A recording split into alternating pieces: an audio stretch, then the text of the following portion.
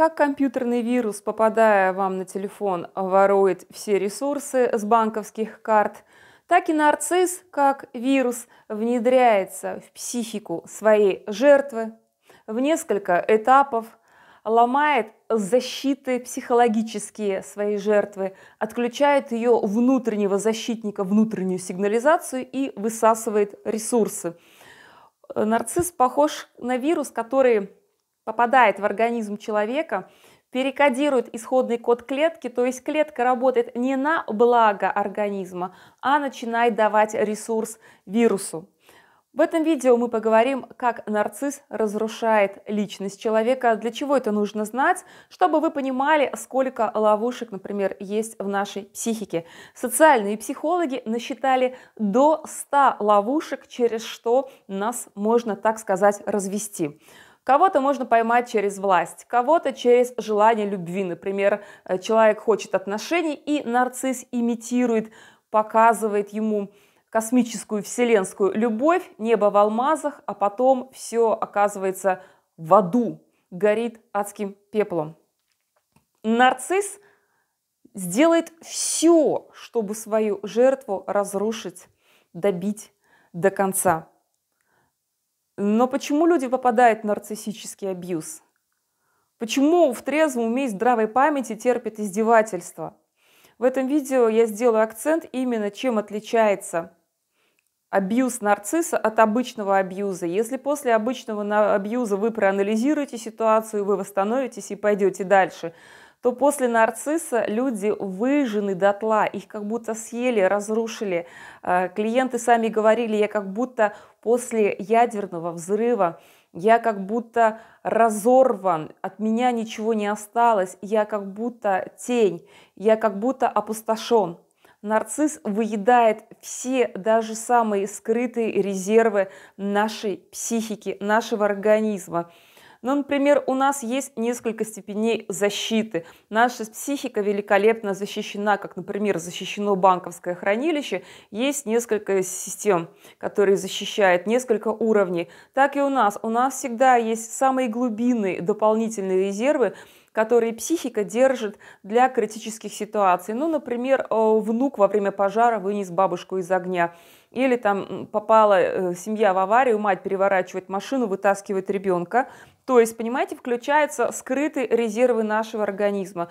Самое страшное, после нарцисса он забирает вообще все. Он забирает вот эти скрытые резервы, то, что у нас как бы про запас лежит. И, в принципе, человек часто жертва нарцисса сам становится нарциссом, то есть нарцисс превращает жертву в подобие себя. Он делает с жертвой то же самое, что с ним э, сделали в детстве. И в этом видео мы подробно поговорим, что с нарциссом произошло, почему он такой, э, чем отличается нарциссическая психика от психики здорового человека. Эти процессы нужно понимать, чтобы вы берегли себя, чтобы вы не стали жертвой нарцисса. Итак, давайте начнем с того, что хоть наша психика имеет много защит, но она и имеет так называемые дыры. Социальные психологи насчитали до 100, так сказать, дыр, ловушек в психике человека – Э, были случаи, когда нарциссы подлазили через любовь к котикам. Вот, например, э, человек спасает бездомных котиков, собачек, и нарцисс начинает тоже спасать вместе. То есть, таким образом, он входит в доверие. Кстати, подобный принцип используют и в сектах, нередко сами лидеры сект это харизматичные нарциссы, там присутствует харизма, сила, но эта сила со знаком минус, темная, и если вас с детства не учили отличать да, эту силу, то откуда будет этот навык? Нарцисс может подлезть через любовь к детям, через творчество, через искусство, то есть ловушек много, и наше понимание того, что мы не всесильны, что мы можем лохануться, нас можно развести, да, но также имеются и ресурсы. Например, мы можем просто у кого-то доучиться, да, собрать информацию, ведь информированность, э, мой преподаватель говорил, предупрежден, значит вооружен. Чем больше у вас информации, чем вы понимаете, да, как вас вовлекают, как нарцисс вас втягивает в свой нарциссический абьюз, в свой инфернальный темный мир, как некий такой нарциссический морок, да, я уже на этом канале подробно прямо рассказывала, темный гипноз нарцисса, там есть подробно под видео, и как он заражает этим своим безумием, потому что ведь часто классный, яркий, ресурсный человек, как его нарцисс развел – как нарцисс сделал так, что человек сломался. Ну что ж, давайте мы немножечко поговорим про то вообще, что представляет собой психика нарцисса. Дело в том, что у нарцисса как таковой личности нет. Сейчас будьте внимательны. Внимательны. Главное отличие психики нарцисса, то есть нарушенного человека, это психиатрия и психики здорового человека. А в здоровой психике ядро личности присутствует, идентичность, целостность, осознание. Он может быть порушен, покоцан, даже, например, у него после стрессовое какое-то расстройство, но целостность личности сохранена. У нарцисса вообще вот как таковой личности нет. Вот это знаете, примерно как биоробот. Вот биоробот, андроид – андроник, там, бионик, да, у него вроде вот он полностью похож на человека, у него интеллект прекрасный, да, то есть, например, а, нейросети превосходят, да, по интеллекту многих людей, но нет души, нет сердца. Это даже вот интересно, как рисует искусственный интеллект. Я часто вижу, просто души нет. Они даже часто глаза, эмоции не могут так прорисовать. Вот психика нарцисса – это как робот, с виду яркий, но там нет сердца, нет души, нет любви, нет того, что делает человека человеком. Любовь, эмпатия, сострадательность, жалость к другим людям, э, понимание его границ, понимание чувств, эмоций. И это страшно понять, потому что вот он просто смотрит на человека как на пищу. Например, крокодил утаскивает антилопу, не испытывая при этом никаких угрызений совести, он смотрит на нее как на котлетку. Так вот, нарциссическая психика, а, она претерпела травму, часто с детства. Там, с одной стороны, маленький несчастный ребенок, где-то до трех лет, а, это нарциссическая травма, там мать была нарцисс или еще какой-то нарцисс, его унижали, гнобили, издевались, бросали его, отвергали, предавали, то есть колоссальное чувство боли, стыда, и происходит расщепление. Где-то в лабиринтах инфернального э, заледеневшей психики вот этот несчастный ребенок, который, с одной стороны, дико нуждается в привязанности, с другой стороны, он всячески ее отталкивает. Этот ребенок очень жестокий, мстительный, то есть, ну, он застрял на определенных этапах возрастного психологии детской. Вот на каком-то этапе ребенок просто не понимает, что жуку нельзя отрывать крылышки, да, ножки, или бабочки крылышки, да, что нельзя мучить кошку, он просто этого не понимает, если мы его не воспитываем. А у нарциссов этот механизм поломан, они там застряли, они реально не понимают, что вам больно, они реально не понимают, что вам плохо. То есть как такового нет вообще ядра личности – нет его, понимаете, как такового. Отсюда сначала это очень привлекает, потому что о, вторая его субличность, некое такое ложное «я», он вырастил ложное «я», это некая его защита, способ взаимодействия с миром. И в то же время он всячески подстраивается, мимикрирует, изучает, пытается, сканирует людей, да, и пытается подстраиваться по чувствам, по эмоциям, что для вас дорого, ваши мечты. Говорите вы о религии, говорите вы о творчестве, любите вы музыку, обожаете котиков, любите детей. А, поэтому, кстати, очень мудрый совет а, особо никого не пускать близко в душу, если ты не близко не узнал человека, не рассказывать о своих мечтах, планах, увлечениях, потому что нарцисс, считав это все, он может, да и не может, он будет говорит с вами на одном языке. Мне сам нарцисс говорил, «А у меня, говорит, очень сильно подстройка развита, я, говорит, выживу где угодно, там, в криминальной среде. Он берет, подстраивается. Вам нравится эта книга, и он говорит, что вам нравится эта книга, когда он ни хрена ее не читал. Вы, например, вот я помню одну из моих встреч с нарциссом, я занималась, ну, некими такой телесными занятиями, да, на релаксацию. Он подошел, первое, что он начал, он начал за мной повторять. Понимаете? Он начал меня копировать. Он начал везде присоединяться, подстраиваться, отзеркаливал да, мои взгляды на религию, на отношения, на семью. И вам начинает казаться, что вы встретили идеального человека, что вы для него самые лучшие или самые лучшие, вы его спаситель. То есть вот этот внутренний ребенок его, да, травмированный, кстати, очень чрезвычайно жестокий, как такой, знаете, э, черствый жестокий мальчик или девочка, крайне могут ненавидеть все живое, озлобиться от той ненависти, да, от того холода, там, скорее всего, была вот нарциссическая мать. И он пытается с помощью вот этого ложного «я» вас контролировать, э, вами манипулировать, будет ломать ваши психзащиты. Но сначала перед этим он хакнет вам психику, подберет к ней код. Он влезет через то, что вам дорого, э, ваши идеалы, ваши ценности – Поэтому не стоит действительно много рассказывать о себе. Это достаточно очень мудрое наблюдение, чтобы вот не быть такой жертвой нарцисса. Даже, например, музыку вы одну и ту же слушаете.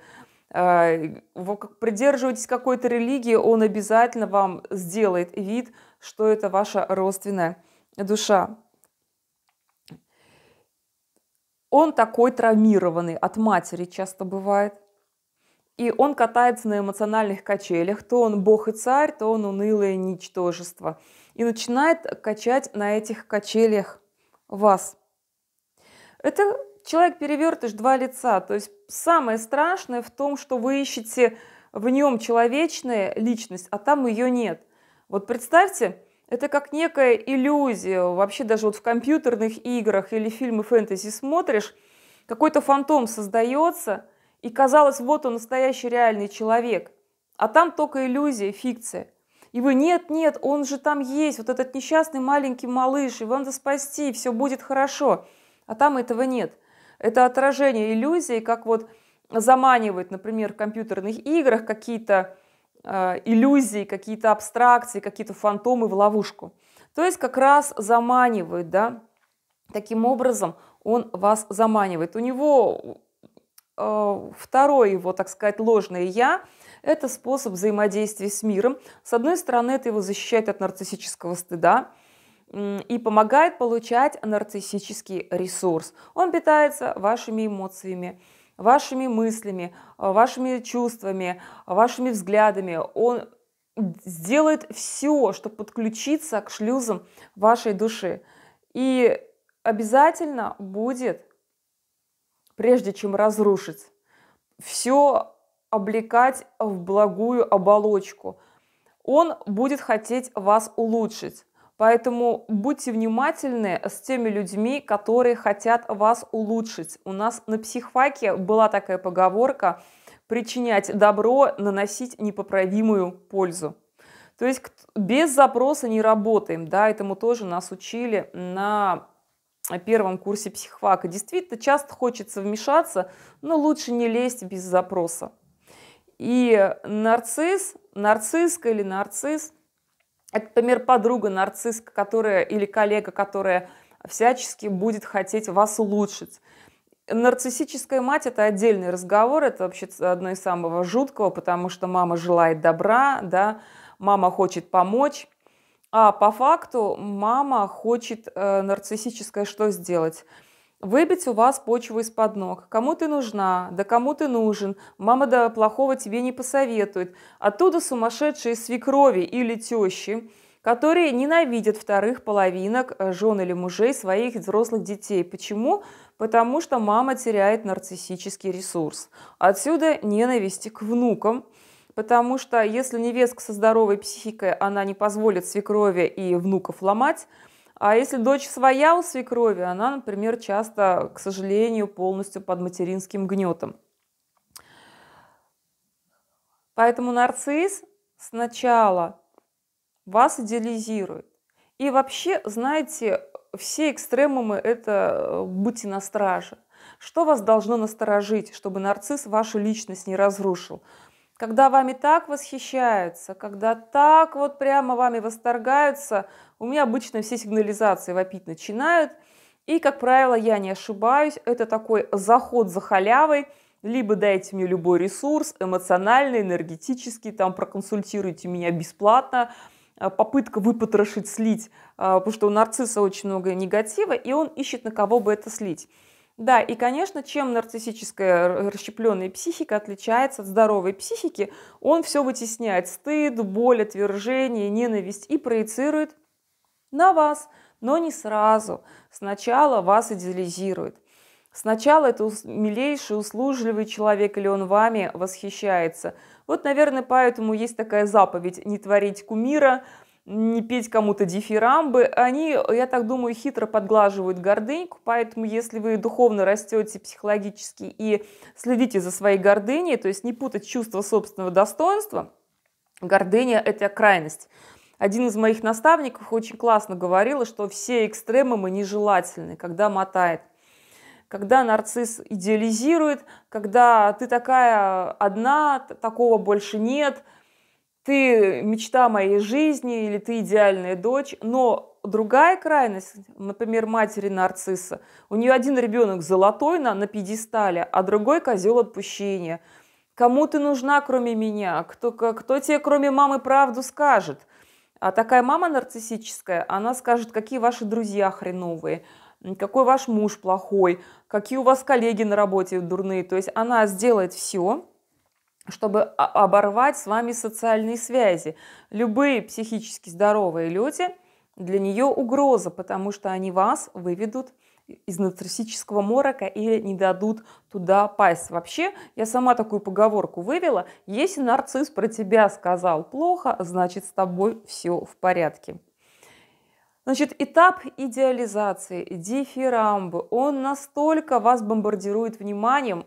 Ребят, ребят, как в секте – там один из этапов вовлечения в секту, первых таких, бомбардировка любовью, такой окситоциновый взрыв. Вам кажется, вы попали в рай, вас любят, принимают. Э, даже если вы плохо играете, поете на гитаре, плохо рисуете, вот объективно, да, он восхищается, как будто вы Микеланджело или Пикассо. И со всех сторон он вас обволакивает – он создает иллюзию, я просто сейчас свой опыт вспоминала с абьюзером, с нарциссом, там иллюзия рая, вот именно иллюзия, вселенской любви и счастья, такого мира покоя он имитирует, он очень глубоко имитирует, как ребенок да, в безопасности в животе у мамы или на руках у мамы. И заботится, и прилетает на помощь. Все, вам кажется, вы нашли рай на земле. Или это может быть нарциссический, например, родитель, который создает такую иллюзию, что он всего себя посвятил детям, да, но не от любви, а от крайней нужды, от той пустоты черной дыры внутри нарцисса. Как говорится, мама прожила свою жизнь, проживет и твою. Или отец нарцисс, не буду называть, но вы, наверное, поймете, о ком я, который э, ест, питается своими детьми, делая из них вундеркиндов – делая из них дрессированных собачек, там по детям видно нервные тики, а что они несчастливы, это уже и психиатры разбирали, Шуров разбирал, психиатр просил это безобразие прекратить. Прям, прям видно, да, как дети сохнут, например, жена сохнет, а папа такой пышет здоровьем, да, вытягивает, высасывает ресурсы. И все восхищаются, неподготовленные, какой отец молодец – какой э, папа всего себя посвятил, а там папа тоже, да, питается, высасывает. Ну, как говорится, эти дети подрастут, мы узнаем много нового. Как, например, э, известная пианистка, которая росла с токсичнейшим отцом, тоже очень много интересного рассказала. Значит, будьте внимательны, если вами начинает очень сильно восхищаться – Здесь, конечно, имеет смысл тренировать свою психику, да, как тело. Тело, например, среагирует в момент экстренной опасности, так и психика. А, чем, например, психотерапия и коучинг занимаются, они помогают прокачать эмоциональный интеллект. Она чувствует фальш на уровне чуйки, на уровне инстинктов, на уровне интуиции. Это фальш, и это поможет притормозить. Во-вторых, всегда будьте внимательны, у нарцисса все очень быстро. Это как в токсичных продажах, я такие продажи не люблю. Э, как называется, какой маркетинг-то? Какой сектантский маркетинг? Не дать подумать, принять решение. Э, нарцисс очень быстро хочет на вас жениться, очень быстро вы начинаете жить вместе, то есть он звонит по 20 раз в день, встречает и со всех сторон вас обволакивает. Но то же самое происходит в сектах. Не зря секта разрушает, ломает личность так же, как э, ломает ее, разрушает нарцисс. То есть, по сути, стирает личность, подсаживает ложное «я», подсаживает как вирус, например, в компьютер, ваш рабочий ноутбук, или в телефон для того, чтобы уже ресурс вашего гаджета работал на них. Например, воровать какие-то финансовые средства, какую-то информацию. Вот этим занимается вирус. А вирусная программа может быть под видом любого, например, фоторедактора, под видом какого-то офисного, например, там, редактора, под видом какого-то просто фильма, да, или какого-то полезного приложения. Поэтому у вас должны быть встроенные фильтры. Следующий этап, да, как нарцисс разрушает личность, начинается после такого периода эйфорического бомбардировки любовью, начинаются первые признаки, например, некий холод, или он начинает пропадать, он нас вас начинает раскачивать. Холодно, тепло, взял, пропал на несколько дней. Сегодня он с вами, тут он исчез. Или мама нарцисс, вроде все, она рядом, любимая, а тут хопа, и ну, человек переверт, что он поворачивается другим лицом, и вы хотите вернуть вот того, какой он был. Милый, нежный, э, спасти несчастного нарцисса или спасти свою маму, хотите вернуть вот этого вот любящего человека. Хотите то, что он вам показал, да, какая вы классная, он вас как будто вот отражает, поэтому здесь нужно тоже себя очень чувствовать. Вы хотите это вернуть. И как любой ну, адекватный человек начинаете задавать вопрос, у кого есть, например, рефлексия, эмпатия. Может быть, я что-то сделал не так. То есть ну, в адекватных отношениях да, оба задаются вопросом, где я, например, не прав. Мы же понимаем, что мы можем косячить. Да? Вот. И вы начинаете копаться в себе. Но нарциссу только этого и надо. Он против вас же использует свойства вашей психики. Воображение – вина, а тут, как правило, цепляются застарелые травмы, у многих они есть. И мы хотим вернуть вот того, кто он был, да. Начинаются первые звоночки, холодные души. То есть, если ты думаешь не так, как надо нарциссу, чувствуешь не так, как ему надо, достаточно ему не поклонились, достаточно не облизали нарцисса, достаточно ему не, не подали его вот этой грандиозности, он может обесценить. Или он возьмет и перестанет давать вам любовь и нежность, а у вас уже выработалась вот эта привязка окситоцина, эндорфиновая. Вы думаете, что встретили человека, который вас принимает безусловно. Если такие люди вообще, ну, может быть, среди святых. В этом плане, кстати, здоровое понимание здоровой религии может дать мощную опору на источник бесконечной любви, мудрости и силы, там будет все в порядке. Такие люди, действительно, их очень трудно зацепить нарциссу, как правило, на обход стороной. Поэтому, конечно, имеет смысл развиваться духовно. Так вот, начинается обесценивание, начинается пропадание. Если ты не думаешь, как хочет нарцисс, если с ним поспорил, оделся не так, сказал не так, он не даст вам той прежней дозой подпитки. С нарциссом будьте очень осторожны, если вы, вам кажется, что вас принимают безусловно, вы встретили родственную душу, и такое действительно бывает э, в здоровых отношениях. Но нужно понимать, что все люди не идеальны, и не бывает такого, что вот прямо тебя постоянно принимают, безусловно. Человек себя-то не может часто принимать. Бывают конфликты в отношениях, несогласия. Но в здоровых отношениях отношения строятся на уважении к личности, на принятии, на тепле. И он это имитирует, понимаете? Самое опасное, что нарцисс вгоняет вас в детское состояние, где ты прямо вот маленький ребенок, которого ангелы на руках баюкают. Только эти ангелы-то падшие, эти ангелы с рогами и с хвостами, но сразу не видно. Вот этот этап такой психологической обработки. Нарцисс на этом этапе может вину навязать. Например, нарциссическая мать обвиняет ребенка, что он не такой. нарциссическая мать на ребенка будет проецировать э, свои эмоции. Она ему будет всаживать, что он виноват, что родился и испортил маме жизнь. Поэтому часто в терапии с детьми от нарциссических родителей приходится именно убирать эту вину. Да? А он виноват, что родился. Ну нет, конечно, это же ответственность взрослых людей вступать в отношения. Но мать нарцисс зомбирует. Да?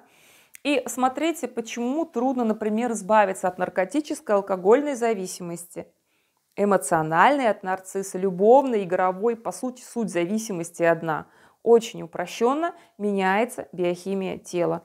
Нарцисс сначала сажает на окситоциновую иглу, это гормон обнимашек, выделяются такие вещества, которые приносят удовольствие.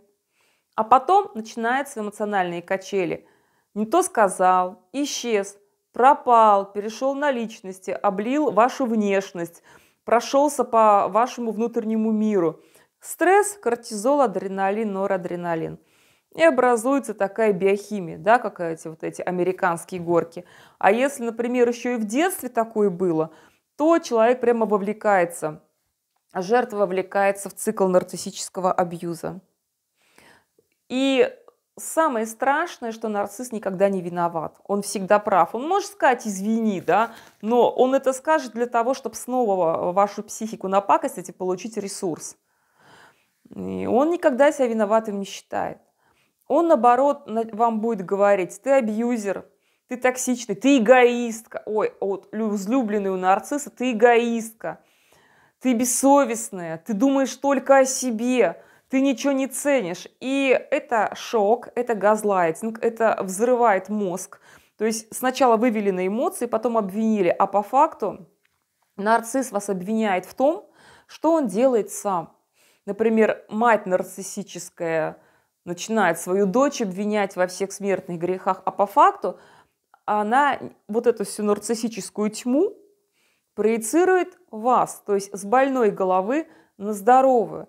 А с нарциссами ощущение, что с ума сходишь, потому что включаются наши любимые зеркальные нейроны, то есть это нейроны, это такие клеточки, которые передают информацию, а зеркальные нейроны они помогают нам обучаться. То есть зеркали перенимают опыт. Ну, как мы будем обучаться, как не перенимая опыт? Классно же. А тут он не может считать толком. У вас начинает система путаться, запутываться ноги. Вот это все равно, что вам говорят, иди вправо, а левая нога должна идти вправо, правая влево. И вы вот так вот запутались просто. То есть начинаете сходить с ума и начинаете копаться в себе и начинаете пытаться вернуть тот этап, медовый месяц, золотой какой-то там бомбардировку любовью, этот э, окситоцин-эндорфиновый приход, это удовольствие. Вы хотите вернуть этого человека, потому что уже есть зависимость от него. А его там нет. Его там просто, этого человека, нет. Это как иллюзия, как фантом, который, например, считывая вас, он показывал, а на самом деле этого нет. Он это делал для того, чтобы войти к вам в доверие, а потом внедриться и разрушить вашу личность. Клинический, патологический нарцисс, он не способен видеть свои косяки. Он никогда не признает, что он не прав. Газлайтинг – это излюбленный прием нарцисса – Поэтому будьте внимательны с этими родственными душами. Так сажают на крючок. Хотя я не спорю, что родственные души реально существуют. Но вот мое наблюдение, знаете, я думаю, все, что связано с более-менее здоровой частью психики, оно не имеет эйфории. Эйфория э, я вижу как наркотический термин я бы сказала, благодать, умиротворение, мир, спокойствие, тишина. И если, например, вы сами росли с травмой в семье, где были нарциссы, психопаты или абьюзеры, вы привыкли к эмоциональным качелям. Мама орет, истерит или плачет, папа пьет, вас там обижал кто-то, да, кто-то был жертвой, то вам привычней сценарий, который устраивает нарцисс. То есть сами жертвы нарциссов говорили, мне скучно с хорошими парнями, да, мне с ними скучно. Вот хороший, надежный парень, он же не даст вот эту дозу, да, окситоцина, эндорфина, кортизол, адреналин, отрицательные, положительные биохимия, вот эти качели. Но на этих качелях жить невозможно становится со временем, как на американских горках или как на вулкане, потому что с нарциссом нет предсказуемости, нет уверенности. Понимаете, вот постоянное ожидание подставы, отсутствие доверия, отсутствие безопасности, уверенность в человеке, это уже на таком этапе, когда он начал чудить, отсутствие безопасности подрывает вашу иммунную систему, отнимает ваше здоровье, красоту, то есть вы в тревоге, вы все время в стрессе. Люди на 10-15 лет теряли возраст, красоту. То есть ей, например, 30, она выглядит на 40. Ей 25, она выглядит на 35. Потому что нет спокойствия, нет умиротворения. Есть эйфорическая вспышка. Он дозу дал, и здесь наша ответственность исцелить часть себя, которая это допустила. Но человек бывает личность устойчивая, целостная, сильная. Нарциссы таких любят, психопаты любят. И у нее нормальная семья, хороший сценарий. А нарцисс вот так стал раскачивать, понимаете? Показывает небо в алмазах. Он может из целостной личности сделать того, кто просто э, разорван на части. Разорван. И приходится себя уже собирать вообще, вообще по частям, по атомам, молекулам. Поэтому будьте внимательны. Нарцисс подбирает отмычки к любой психике. Что идет дальше? Дрессировка. Он дрессирует, чтобы вы сидели на крючке вины, например, нарциссическая мать обрывает ваши социальные контакты. Он начинает лишать вас любви. А что важнее в детстве, чем любовь мамы и папы? Папа бывает нарцисс, конечно, к нему ровно применимо то, что применимо к папе, к нарциссу, только с учетом неких гендерных особенностей. Ну, физиология у мужчин и женщин немножко по-разному работает, да. Вы должны думать, как он, делать, как он, и давать ему ресурс, обслуживать его нарциссические нужды. Но проблема в том, что нарцисс никогда не будет доволен. Внутри него пустота. Вот есть э, в мифах, легендах Древней Греции такое наказание, видимо, один из слоев ада, где ел, пил, лил воду в кувшин, а там дна нет, кувшин дырявый. Сколько не лей, кувшин дырявый. Поэтому сколько вы, нарцисс, не даете любви, признания, там просто сам механизм поломан. Вот примите как факт, что просто поломка механизма, что вот стоит человек, а у него дыра в голове, и там, где сердце, душа, любовь, вот это вот духовный орган, ду, душа, там дыра сидит, там сидит чужой, там сидит э, крокодил, там сидит голодный хищник, который просто вас ест. Поэтому тяжело избавиться от иллюзий сказки. Мозг цепляется за эти воспоминания. Ведь нарцисс очень сильный манипулятор, он изучая, как работает, э, как люди себя ведут, он прямо может создать вам полную безопасность, иллюзию вернее, полной безопасности. Как будто вот вы ребенок, да, как вот девушка говорила, я вот как маленькая девочка укутанная в полной безопасности, но это иллюзия. Поэтому нельзя взрослым людям никому на откуп давать свое внутреннее счастье, опору, нельзя отдавать себя всю другому человеку. Должна быть внутренняя опора. Когда жертва готова сорваться с крючка, нарцисс сделает все, чтобы ее вернуть. Он прикинется хорошим, он снова вот этот э, медовый месяц, сладкий период покажет. Это очень выражено с нарциссическими матерями или отцами, или родственниками нарциссами, или подругами нарциссами. Они все осознали, они все поняли. И у вас постоянно опять появляется надежда, что он исправится, А, нарцисс может вот этого маленького ребенка периодически показывать, его детскую несчастную травмированную часть и вводить вас в заблуждение.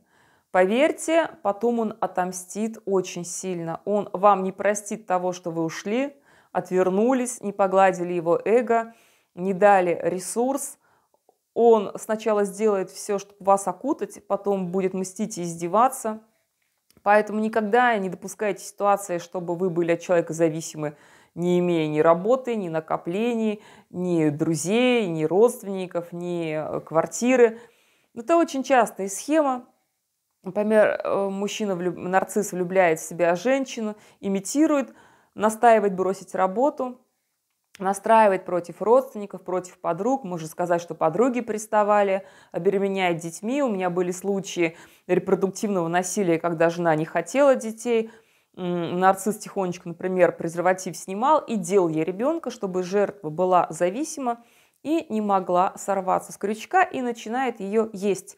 То есть, по сути, как нарцисс да, разрушает вот так в сети, в сети, в сети, запутывает бабочку или стрекозу, впрыскивает свой яд – это унижение, обесценивание. Он хочет вас улучшить. Он хочет вас сделать на самом деле удобным для себя. И яд, который он свой на вас сливает, он как яд паука у бабочки внутри все переваривает, жесткие части. И вот такой вот э, перевариванную, мягкую, вкусную для него он потребляет. Он может э, находить на стороне, часто нарциссы создают гаремы, где они получают нарциссический ресурс, а, потому что жертве же нужно время восстановиться. А, очень интересный этап, который нужно знать.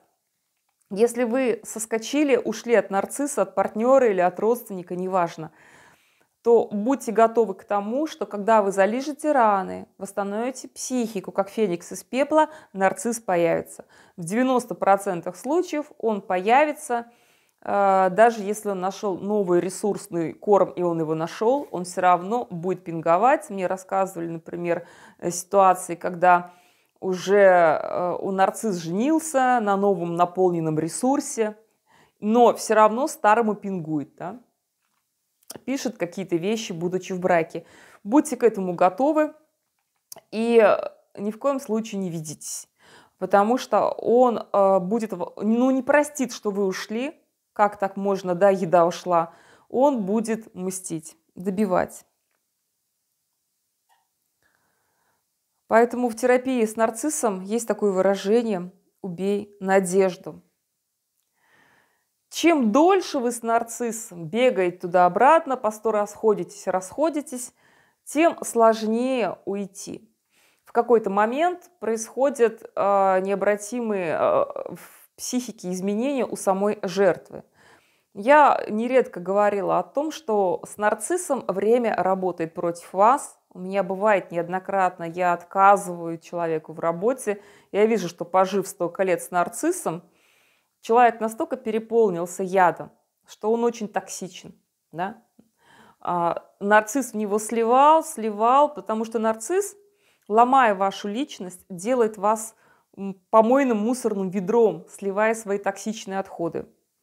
И рано или поздно человек заражается этой тьмой. Э, проблема у нас в стране, что люди приходят к психологу с опозданием лет на 5-10. На 10. Нужен психиатр медицинский. А еще, например, психотерапия, она глубже, чем обычная психология работает. То есть работа, например, если нарцисс вас порушил, работа должна быть с тем специалистом, кто знает психотерапию, например, словом. Не медикаментозно, а словом. Почему? Потому что там работа идет такая же, как с алкозависимыми, наркозависимыми, эмоциональная зависимость, любовная зависимость. Должен понимать эту специфику. Обычный психолог, который закончил психфак, такой квалификации не имеет. Не каждый клинический психолог сможет с этим работать. А, дальше, давайте заканчивать. Как вампир заражает другого человека, укусив его, так и нарцисс заражает своей нечистью. Э, нарцисс схож вирусом, который заражает здоровые клетки. Да, мир заражен нарциссизмом, это тоже есть. И э, последнее, что вам хочу сказать, будьте внимательны при потреблении контента в СМИ. Э, в СМИ сейчас идет борьба за внимание, не чурается никакими методами, очень сильно в любых фильмах, сериалах, передачах раскачивают на эмоции. Да, есть экологические каналы, а есть те, которые ломают психику. Например, ко мне приходит э, клиентка и говорит, я посмотрела сериал и скатилась в жуткую депрессию. Начали разбирать сериал, идет очень сильная раскачка на эмоции, цепляют за травмы, где над главной героиней издевались в детстве или героем били, унижали, и кто смотрит, примеряет на себя. Туда же вот эта музыка душераздирающая, и мы открываемся. А нельзя сильно открываться, потому что можно нагадить психику.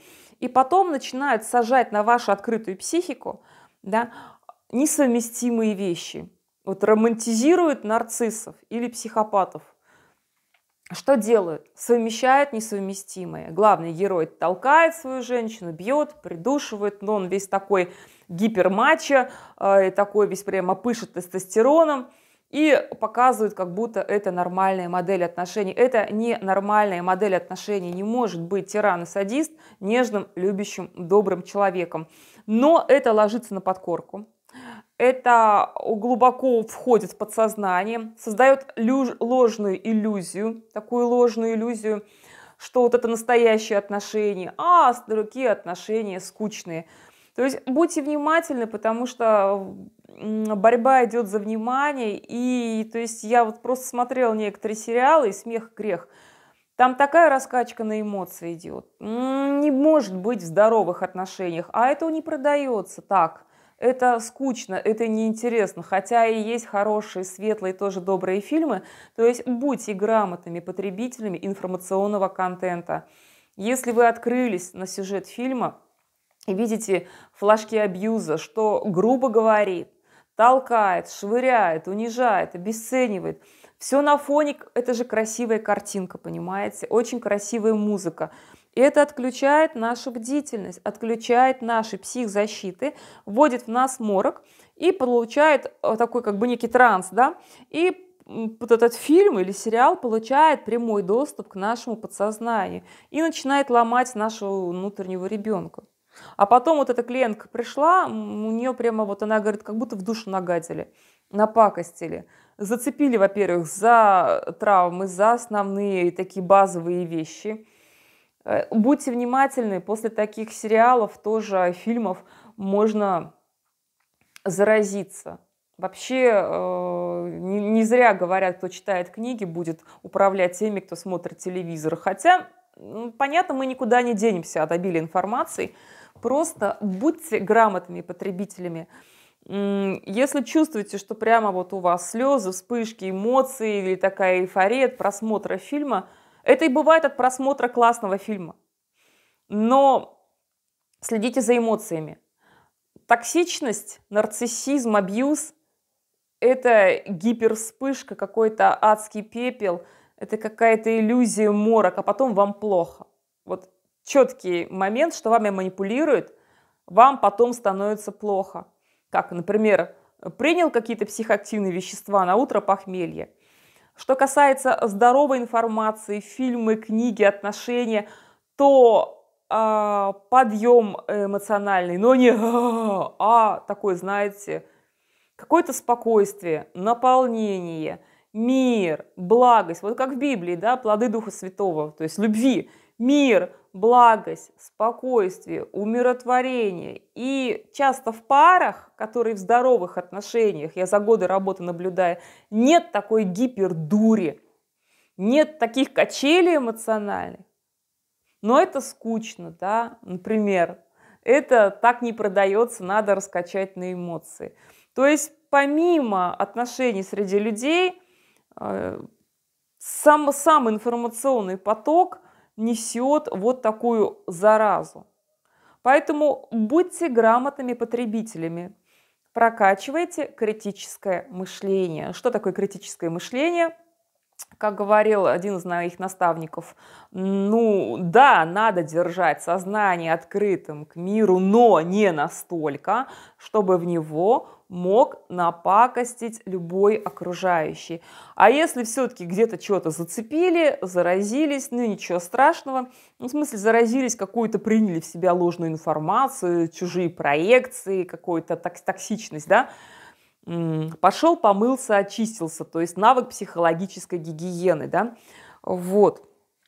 Значит, как стать более сильным, прокачанным? Как, например, если вы в нарциссических отношениях его отключить, я под видео оставлю ссылки, если вы еще не смотрели. Там пара техник отключения нарцисса, проморок нарцисса и ссылки на мои программы и курсы, где это можно сделать.